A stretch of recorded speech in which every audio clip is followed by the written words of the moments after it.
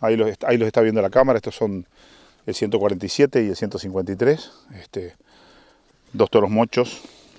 del lote 6, eh, dos de los toros del lote 6, en caso del 147 es un Times Up, eh, un toro americano, también moderado al nacer, con lindo crecimiento, muy buenos números, 100 y 100 de,